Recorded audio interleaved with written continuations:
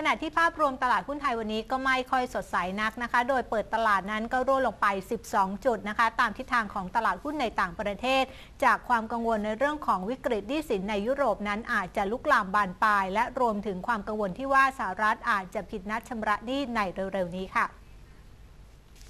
ดัชนีหุ้นไทยเปิดตลาดลดลงไปกว่า 10 จุดนะคะตามทิศทางตลาดต่างประเทศจากความกังวลปัญหานี้ยุโรป ที่อาจลุกลามจากกรีซไอร์แลนด์และโปรตุเกสไปยังประเทศใหญ่กว่า เช่น อิตาลีและสเปน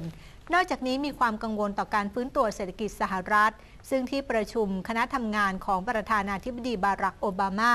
และสมาชิกสภาผู้แทนราษฎรยังไม่สามารถตกลงกันได้ เกี่ยวกับการปรับเพิ่มเพดานหนี้ทำให้นักลงทุนกังวลว่าสถานการณ์ดังกล่าวอาจทำให้สหรัฐ เผชิญกับการผิดนัดชำระหนี้ในเร็วๆนี้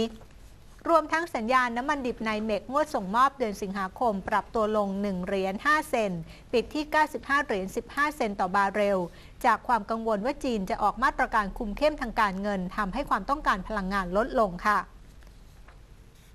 ส่วนดัชนีนิเกอีภาคเช้านั้นนะคะ ปิดร่วงลงไป 154.53 จุดที่ระดับ 9,915 จุด หลุดระดับ 10,000 จุดเป็นครั้งแรกในรอบสัปดาห์หางเซ็งของฮ่องกงปิดภาคเช้าที่ 21,903.18 จุด ลดลงไป 444.05 จุดค่ะ ส่วนความเคลื่อนไหวของตลาดหุ้นไทยนะคะปิดครึ่งวันเช้าไปที่ระดับ 1,069.29 จุด ปรับตัวลดลงไป 7.95 จุด มูลค่าการซื้อขาย 13,605 ล้านบาทค่ะดัชนี MAI นะคะปิดไปที่ระดับ 309.12 จุด ปรับตัวบวกขึ้นมา 0.89 จุด มูลค่าการซื้อขาย 664 ล้านบาทค่ะ ห้าอันดับหลักทรัพย์ที่มีมูลค่าการซื้อขายสูงสุด อันดับที่ 1 กับปตท อันดับที่ 2 บ้านปู อันดับที่ 3ท็อปไทยออยล์อันดับที่ 4ปตทเคมีคอลและอันดับที่ 5 กับธนาคารไทยพาณิชย์ค่ะ